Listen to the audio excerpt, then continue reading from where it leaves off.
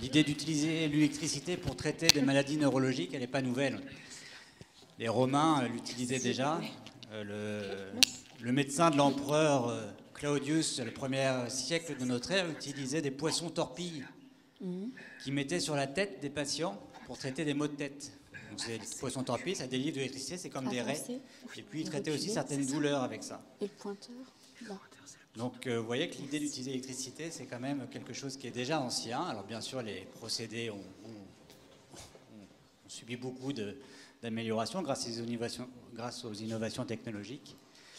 Eh bien, euh, ça va me permettre d'introduire le docteur Maude Rotarmel, qui est psychiatre au CHSR, au centre du Rouvray, euh, qui va vous parler de l'utilisation de l'électricité dans le domaine euh, de, la psychiatrie et plus précisément la dépression. Hein, et lorsque l'on parle euh, de l'électricité et qu'on l'applique par des méthodes chirurgicales, c'est ce qu'on appelle la psychochirurgie. Donc, euh, Maud, on te donne la parole pour nous parler de ce sujet passionnant. Merci beaucoup. bonsoir à tous et puis merci pour votre présence et merci beaucoup aux organisateurs de me permettre de vous parler des avancées de la neurostimulation dans le champ de la psychiatrie et notamment de la dépression.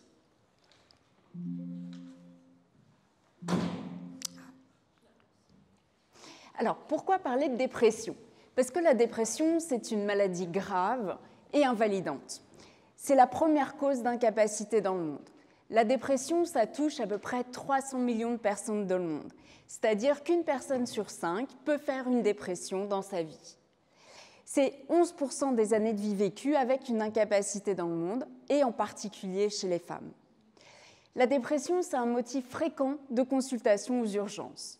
C'est à peu près 30 à 40% des urgences psychiatriques en France. Et pourquoi? Parce que la principale complication de la dépression, c'est le suicide. On estime que deux tiers des suicides sont dus aux troubles dépressifs et il y a 30 fois plus de risques de tentative de suicide chez les patients déprimés que dans la population générale. Pour traiter la dépression, on utilise des antidépresseurs, et notamment les médicaments qui inhibent la recapture de la sérotonine. Un tiers des patients souffrant de dépression répondent de manière satisfaisante aux traitements de première ligne, c'est-à-dire à ces traitements antidépresseurs. C'est un tiers des patients. Donc plus de la moitié des patients n'arrivent pas à une réduction de 50% de leurs symptômes dépressifs après trois mois de traitement antidépresseur. Ce qui laisse penser qu'il y a une forte proportion de patients, soit à peu près un tiers des patients, qui résistent, c'est-à-dire qu'ils ne sont pas guéris après plusieurs lignes de traitement antidépresseur usuels. Ce qu'on estime plusieurs lignes de traitement, c'est des traitements antidépresseurs pris à dose suffisante, parce que ça marche moins bien si on ne les prend pas, et pendant une durée suffisante de 8 à 12 semaines. C'est une proportion importante de patients et c'est ce qui a poussé depuis des années à essayer de chercher des stratégies alternatives pour traiter tous ces patients qui ne supportent pas ou ne sont pas améliorés par les traitements antidépresseurs classiques. Alors, le professeur Doré a un petit peu spolié mon historique sur l'électricité en vous racontant euh, cette histoire euh, de médecin de l'empereur Claude qui traitait déjà euh, les migraines de l'empereur avec un poisson torpille en 47 avant Jésus-Christ. En Europe, l'utilisation de l'électricité a ensuite été un petit peu oubliée alors qu'elle était plutôt utilisée par les médecins arabes. Et il faut attendre le XVIIIe siècle avec les travaux de Galvani et Volta pour voir ressurgir les travaux sur l'électricité. Et vous vous souvenez, c'est tous ces travaux euh, ou ces expérimentations qu'on fait en biologie, en SVT, ou qu'on faisait en SVT, euh, sur l'utilisation de l'électricité pour euh, faire bouger les muscles, notamment des grenouilles. Aldini, qui était le neveu de Volta, à Bologne, en Italie, a l'idée euh, d'appliquer cliniquement ces principes de l'électricité, et c'est la naissance de l'électrothérapie. Et euh, Aldini va soigner avec succès une jeune patiente mélancolique de 27 ans en appliquant des courants électriques à courant continu de façon répétée. Ensuite, on a toujours les Italiens, Ugo Serletti et Bini, qui en 1934, à Rome, euh, développent la technique de l'électrochoc, c'est-à-dire qu'ils vont induire par un courant électrique une crise convulsive généralisée chez un patient. Et il observe que ces crises convulsives généralisées, de façon répétée, soignent la schizophrénie, mais aussi la dépression sévère. Et la technique de l'électrochoc va rapidement se répandre dans toute l'Europe et perdurer au fur et à mesure des années. Fort heureusement, les techniques de l'électrochoc, ça n'a plus rien à voir avec ce que vous avez pu voir dans Vol au-dessus d'un nid de coucou. Depuis les années 80, l'électroconvulsivothérapie ou électrochoc ou sismothérapie ou ECT pour les initiés, ça se pratique en salle de réveil, sous monitoring, sous anesthésie générale, avec des patients qui sont complètement endormis et relâchés au niveau musculaire. Mais l'électroconvulsivothérapie, ce n'est pas la seule technique de neuromodulation. En neuromodulation, vous avez vraiment des techniques du moins invasif au plus invasif. Le moins invasif, c'est la stimulation transcraniale à courant continu, la TDCS. Un petit peu plus, et encore pas vraiment très invasive, la RTMS, la stimulation magnétique transcranienne un peu plus invasifs, même s'il n'y a pas de mode opératoire, sont ceux dont je vous parlais, les électrochocs, l'électroconvulsivothérapie, donc ces chocs convulsifs qui peuvent être euh, provoqués par un courant électrique ou par un champ magnétique. Là, on commence à rentrer euh, dans le, champ de la neurochirurgie avec la stimulation du nerf vague dont a pu vous parler euh, Juliette et les applications en psychiatrie et notamment la dépression, et encore plus invasif, la stimulation cérébrale profonde, telle qu'on la pratique déjà dans le Parkinson ou dans les TOC sévères. Toutes ces techniques ont des niveaux de preuve, des niveaux de recommandation qui diffèrent selon les techniques. Alors qu'est-ce qu'un niveau de recommandation? Eh C'est la certitude scientifique qu'on a l'efficacité d'une technique. Le niveau 1, c'est une preuve scientifique certaine. Le niveau 2, c'est plutôt probabiliste. Et niveau 3, c'est qu'il n'y a pas encore finalement assez de preuves scientifiques. Mais on peut avoir un niveau 3 sans forcément que la technique soit inefficace. C'est aussi parce qu'on peut manquer d'informations ou d'études ou de recul sur la technique. Ce qu'on peut voir sur cette diapositive qui reprennent les recommandations canadiennes en mode de neurostimulation pour la dépression, c'est que des techniques comme la RTMS, les ECT, la TDCS ont des niveaux de preuve plutôt très acceptables, que ce soit tant dans la cure qu'au niveau de tolérance. En revanche, certaines techniques manquent encore de recul ou sont encore de l'ordre de l'expérimental, comme euh, l'AMST, c'est le déclenchement de crises convulsives par un champ magnétique.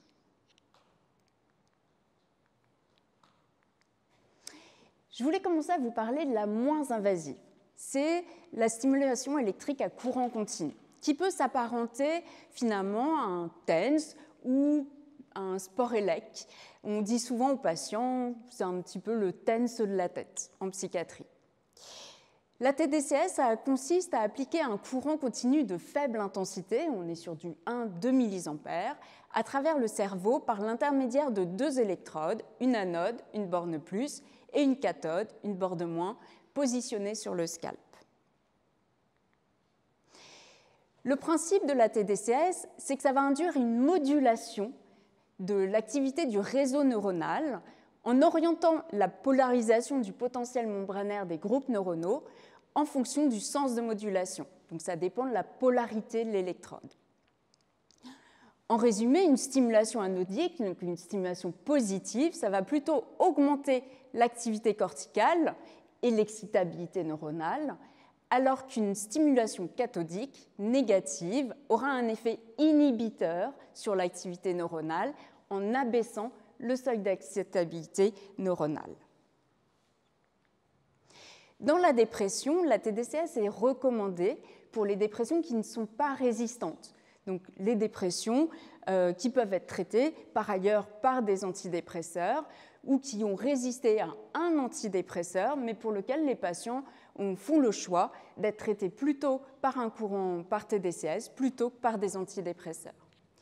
Et donc, dans la dépression, la TDCS a un niveau de recommandation plutôt acceptable, probablement efficace, et pour un placement qui consiste à mettre la TDCS anodale au niveau d'une zone qu'on appelle le cortex préfrontal dorsolatéral gauche. C'est une zone qui est située plutôt en avant euh, au niveau cérébral, dans les régions frontales, et qui est connectée aux régions euh, émotionnelles. Et ce cortex préfrontal dorsolatéral gauche est souvent une cible privilégiée dans le traitement de la dépression. Pour être efficace, on sait qu'il faut à peu près 10 séances de TDCS avec donc plutôt ce placement anodal, donc la borne plus située en cortex préfrontal dorsolatéral gauche, une séance durant 20 à 30 minutes.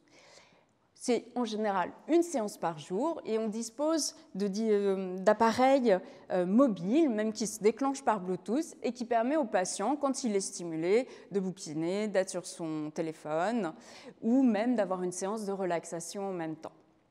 Alors il reste bien sûr des questionnements, c'est-à-dire quel est le placement optimal de ces électrodes pour traiter la dépression, et puis quel est l'effet un peu synergique, potentialisateur des antidépresseurs par rapport à cette technique, ou même des thérapeutiques? La TDCS, c'est juste euh, également utilisé euh, par, les joueurs de jeux vidéo pour booster leur capacité attentionnelle. Et donc on réfléchit beaucoup à faire des protocoles qui associent TDCS et euh, entraînement cognitif ou TDCS et relaxation. Et euh, pour tester tout ça, j'ai un collègue euh, qui fait de l'escrime et qui fait souvent une petite séance de TDCS juste avant d'aller en cours. C'est pour vous dire aussi l'innocuité de la technique. Une autre technique, c'est la stimulation magnétique transcrânienne répétitive. Alors la stimulation magnétique transcrânienne répétitive, ça se base sur le principe de l'induction électromagnétique de Faraday. En fait, on va placer une bobine magnétique sur le cortex du patient. Et cette bobine magnétique va être traversée par un, champ, un courant électrique de forte intensité et de façon très brève, ce qui va générer un champ magnétique et ça va venir stimuler les neurones en rapport. Ce champ magnétique, il pénètre en fait le cortex cérébral sans atténuation et il va pouvoir venir euh, stimuler une population neuronale en rapport sur une zone qui est relativement localisée. Donc la TDCS, ce n'est pas vraiment un traitement de précision, c'est un traitement qui vient moduler une région cérébrale, alors qu'avec la RTMS, vous allez plutôt vraiment cibler une zone, une population neuronale, avec un petit peu plus de précision. Alors quel est le principe d'action de la RTMS C'est que typiquement, les stimulations à haute fréquence, supérieure à 5 Hz, vont plutôt augmenter l'excitabilité corticale de la zone stimulée. Et classiquement, les basses fréquences, inférieures à 1 Hz, vont plutôt diminuer, inhiber l'excitabilité corticale. Et ça repose sur le rationnel de l'utilisation de la RTMS dans la dépression, où on a pu constater dans des études, des études d'imagerie fonctionnelle qu'il y avait une hypoactivité toujours de cette zone dont je vous ai parlé, le cortex préfrontal dorsolatéral gauche, alors qu'on constatait plutôt une hyperactivité de cette même région, plutôt dans l'hémisphère droit, avec une asymétrie interhémisphérique. Et donc, forte de ces études, on va se dire qu'on va plutôt utiliser de la RTMS à haute fréquence, donc plutôt exciter le cortex préfrontal dorsolatéral gauche, alors qu'on va plutôt inhiber le cortex préfrontal dorsolatéral droit. L'avantage de la RTMS, c'est que c'est vraiment une technique qui est non invasive, non douloureuse, euh, qui se déroule euh, sans anesthésie, avec pas ou peu d'effets secondaires. Les seuls effets secondaires qui ont été relevés sont euh, parfois des maux de tête qui passent sous paracétamol.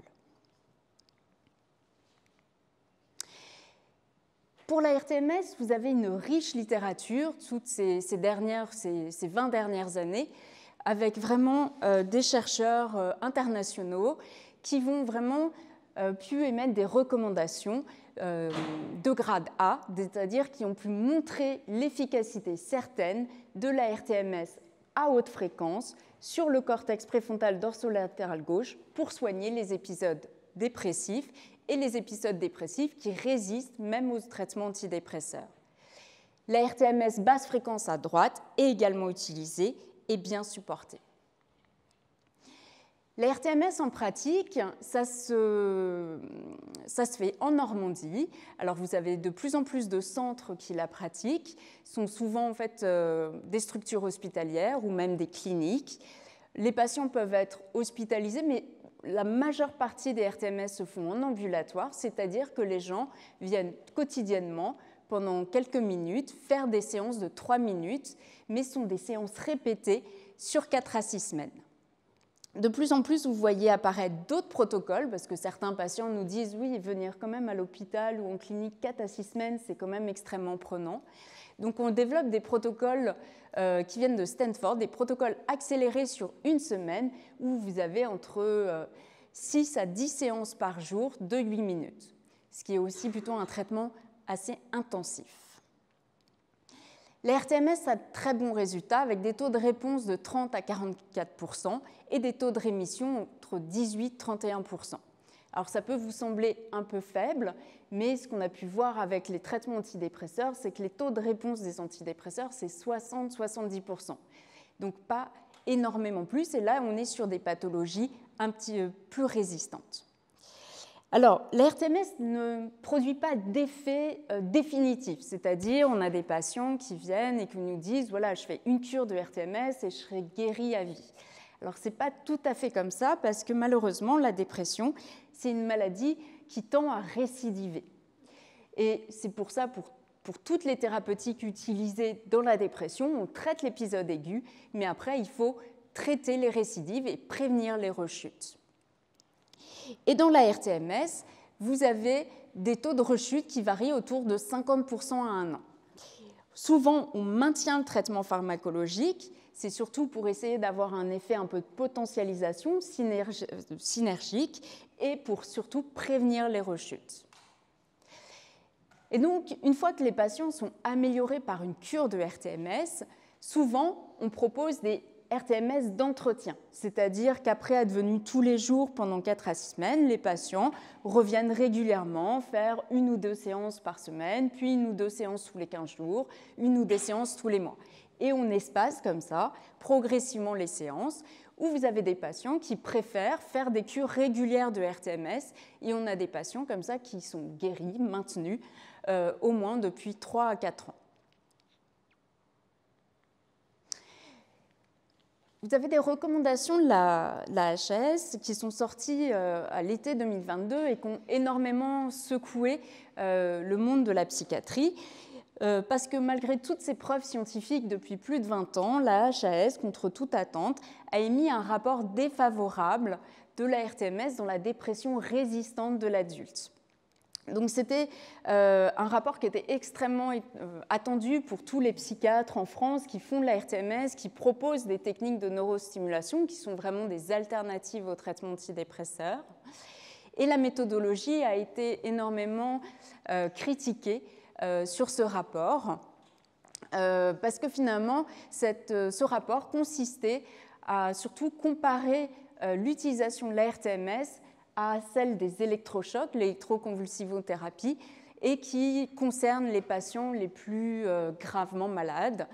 Et donc, ce n'était peut-être pas vraiment l'objet de l'utilisation de la RTMS.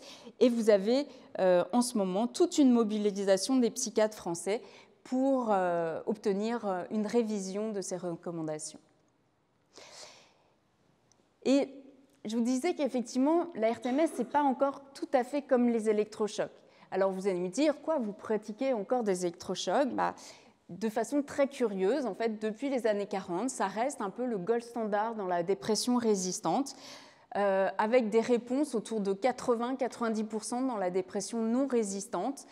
Euh, les mécanismes d'action sont encore incomplètement euh, irrésolus, mais on sait qu'en fait, c'est la multiplication de ces crises convulsives, donc qui sont contrôlées parce qu'on avec un, choc électrique, on va provoquer une crise d'épilepsie généralisée, mais chez des patients complètement endormis ou relâchés au niveau musculaire. Et c'est la répétition des séances qui va avoir un effet plutôt régénératif. Euh, mon chef de service, le professeur Guillain, prend souvent euh, cette image en fait en disant que les ECT, ça fait repousser les neurones. Alors ça ne fait pas vraiment repousser les neurones, mais ça active les connexions entre les neurones.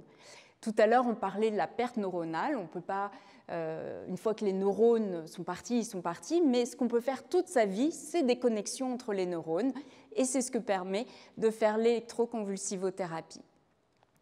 Néanmoins, c'est une technique assez lourde hein, qui se présente, euh, qu'on peut effectuer euh, qu'en salle de réveil, en présence d'un anesthésiste, euh, et puis qui a quand même des effets secondaires à type de perte de mémoire qui entourent les soins.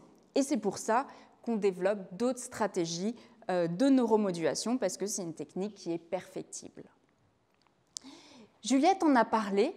Euh, on développe aussi de plus en plus, grâce au professeur Stéphane Deré, euh, la stimulation du nerf vague pour les dépressions qui résistent et même encore aux ECT.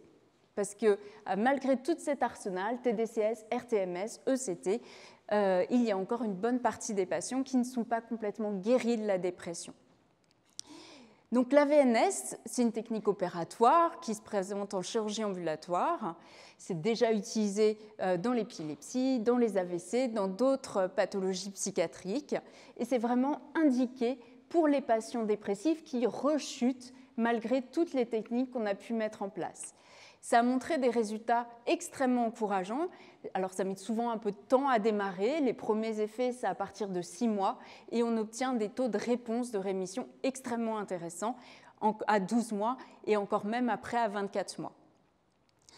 Euh, et grâce euh, au partenariat avec le service de neurochirurgie, un essai clinique est actuellement en cours sur Rouen où les patients peuvent désormais bénéficier de la VNS. Alors comment choisir avec toutes ces techniques de neuromodulation euh, qui commencent à, fleurir? Euh, Cette diaporama, ce, graphique, euh, va illustrer plutôt deux choses. Elle illustre un petit peu l'odds ratio, c'est-à-dire le preuve d'efficacité des différentes techniques de neuromodulation, avec les techniques de neuromodulation les plus efficaces en bas du tableau, en bas de la figure. Donc elle nous dit deux choses, cette figure, bah, que finalement les ECT, l'électroconvulsivothérapie, ça reste encore la technique qui a le meilleur niveau de preuve dans la dépression. Et elle nous dit aussi qu'il y a énormément de techniques de neuromodulation qui sont en train d'apparaître, avec des acronymes tout plus énigmatiques les uns que les autres, tels que la priming TMS, la bilateral TBS, l'ITBS. Et en fait, sont toutes des techniques plutôt de RTMS qu'on est en train en fait de, de perfectionner, de mettre au point pour être de plus en plus efficaces et inégaler, on espère, les ECT. Donc en conclusion, il y a une réelle preuve d'efficacité de la neuromodulation dans le traitement de la dépression, avec quelque chose qui est extrêmement important euh, dans la vie des patients, pas d'effet indésirable ou quasi inexistant pour les techniques les moins invasives telles que la TDCS ou la RTMS, et des techniques qui sont en plein essor, euh, qui sont complètement en train de se perfectionner. Euh, même pour vous dire un petit exemple, toujours quand on a commencé la neurostimulation en psychiatrie en 2014, euh, mon chef de service nous a laissé faire parce qu'il s'est dit bon, ils ont le droit de développer un truc, ces petits jeunes. Et puis finalement, maintenant, c'est lui le premier qui sature notre file active en nous envoyant tous ses patients. Donc ça marche vraiment et c'est extrêmement bien toléré. Et c'est vraiment une arme supplémentaire qu'on peut offrir aux patients. Donc c'est donc à rendre accessible à tous et, à généraliser le plus possible. Je vous remercie.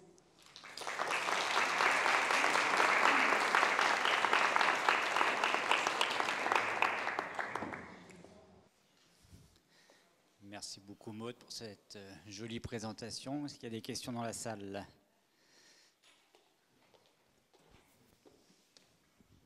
Bonjour, merci pour votre intervention.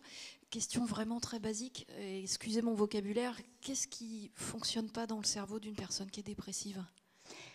C'est une excellente question. Alors c'est vrai que la psychiatrie, pour l'instant, ça reste euh, une des rares spécialités en médecine où les mécanismes d'action ou les mécanismes euh, physiopathologiques, donc l'origine des maladies, est encore impartialement comprise.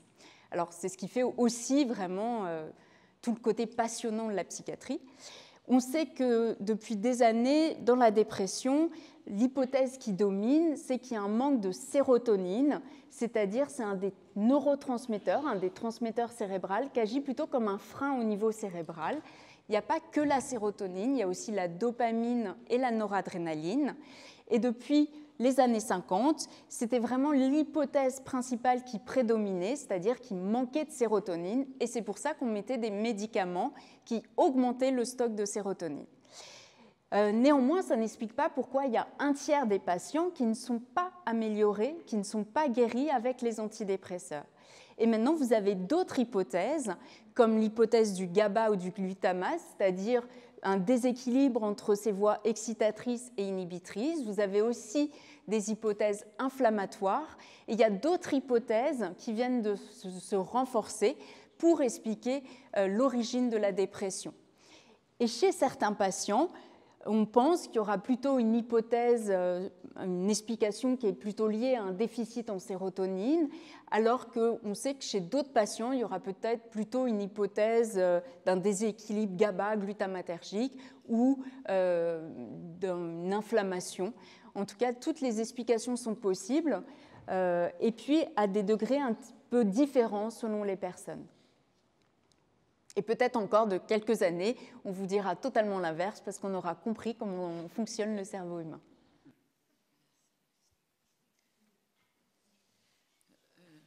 Euh, oui, excusez-moi. Euh, la personne qui m'a devancé euh, donc, a déjà posé la question. Je voulais simplement demander s'il y a moyen d'établir médicalement le diagnostic de la dépression, comme on établit le diagnostic d'un AVC Alors c'est aussi une excellente question. Euh, eh bien, pour l'instant, non, justement, et c'est pour ça qu'on est très embêté.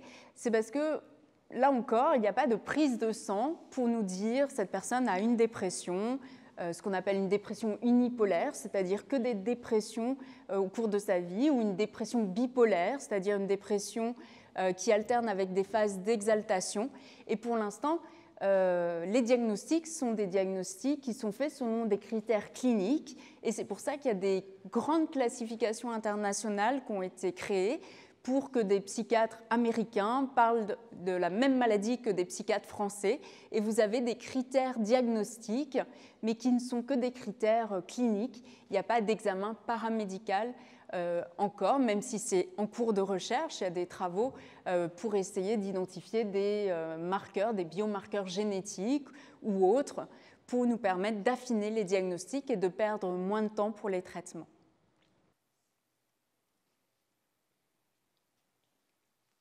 Bonjour. Ah.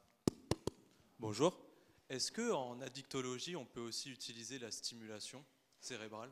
Alors complètement, euh, c'est d'ailleurs une des voies euh, de recherche et vous avez de plus en plus euh, de RTMS, alors TDCS non, mais en tout cas de la RTMS en addictologie. Et là, notamment sur Rouen, on a fait, au centre hospitalier du Rouvray, on a fait l'acquisition d'une nouvelle forme de RTMS qui s'appelle la Deep TMS. En fait, c'est un casque où il y a beaucoup plus une sommation de champs magnétiques et ce qui va beaucoup plus, qui atteint des structures plus profondes. Et vous avez des protocoles en addiction. Et je pense que c'est tout à fait euh, une voie d'étude en fait pour l'addictologie et pour renforcer les armes thérapeutiques en addictologie.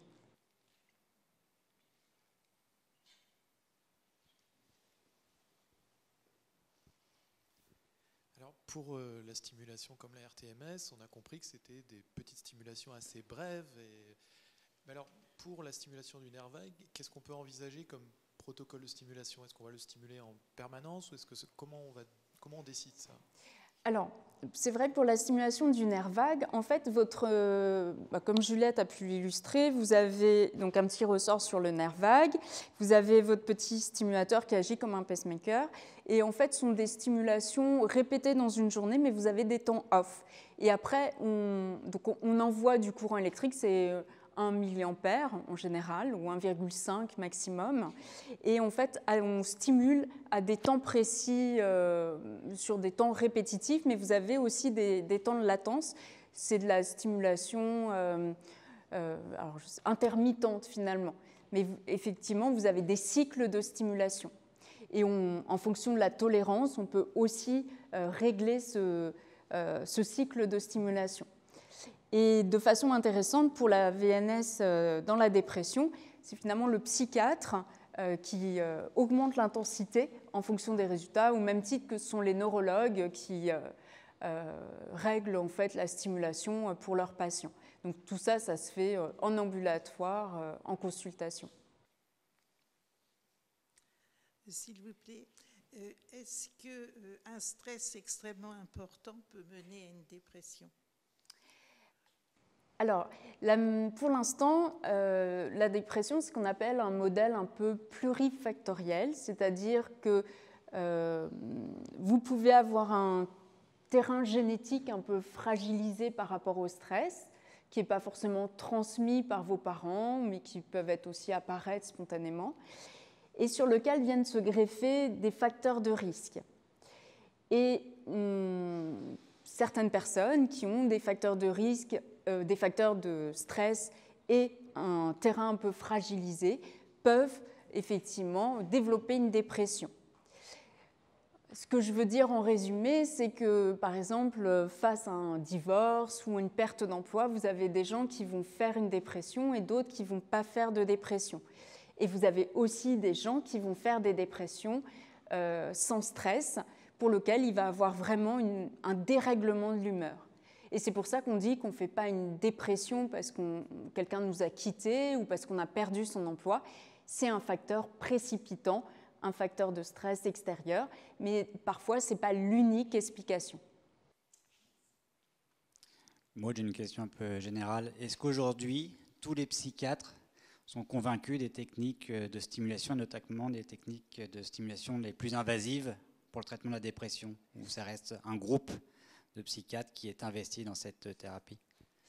Euh, Alors, merci de cette question. Alors, la plupart des psychiatres, euh, et on voit vraiment qu'il y a une forte mobilisation, bah, euh, on s'en est rendu compte en fait avec la parution des recommandations HAS, parce qu'il y a eu énormément enfin, voilà, de retours de psychiatres. On voit que la RTMS, par exemple, c'est une technique qui généralise énormément.